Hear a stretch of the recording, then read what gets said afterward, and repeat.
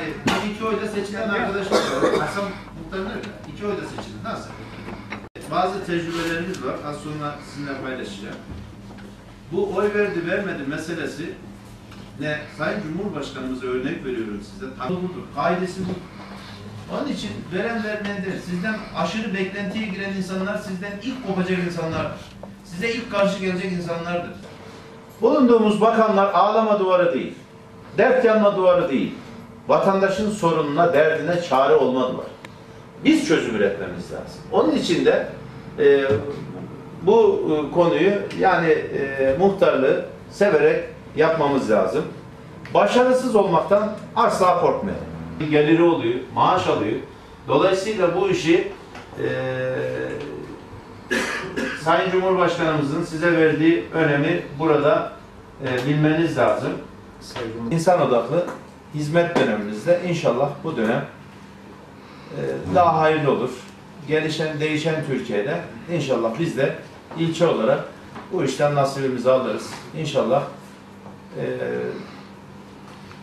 daha iyisi üstüne koyarak da gideriz diyorum ben. Değerli arkadaşlar seçim bitti. Seçim dönemi bitti. Çalışma dönemi başladı.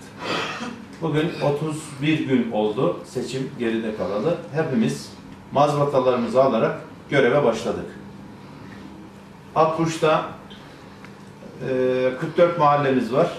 %50 değişim e, yaşadık. Millet böyle teveccüh gösterdi. Böyle bir karar verdi. Saygı duymak lazım. Ben hep şunu söyledim. Benim 5. dönem belediye başkanlığı. Geçmişle hiç uğraşmadım.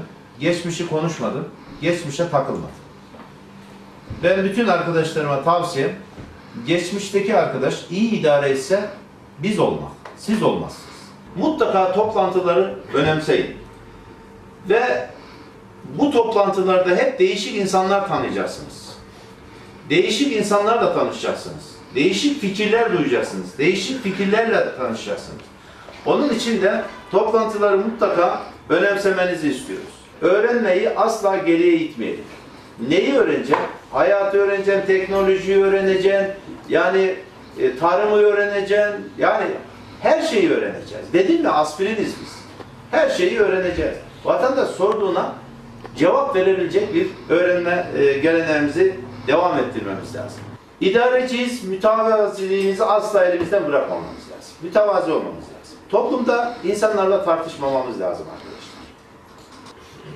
İnsanlarla ilişkilerimizi mutlaka iyi tutalım. Dedim ya seçime takılmayın. Çok aykırı bir insanın yanına gidip konuştuğunuzda, çayını iç, içtiğinizde mutlaka ikna edeceğiniz bir konu olur. Mahallelerimizde olan mağdur, yoksul, e, kimsesiz insanlar mutlaka var. Onlara yardımlarda adil olalım arkadaşlar. Siz de adil olun, bize de adil davrandırın. Yani bizi de yanıltmayın. Biz sizlere soruyoruz. Sizlerden bilgi alıyoruz. O konuda sizin verdiğiniz bilgiye göre biz de öbür tarafta bu işi hallediyoruz. Onun için sizin yapacağınız bir hata bize daha fazlaya mal oluyor. Yani sizin yaptığınız hatanın fazlasını biz yapmış oluyoruz. Onun için de adil olalım. Yani aciliyet, mağduriyet önceliğine göre çalışalım.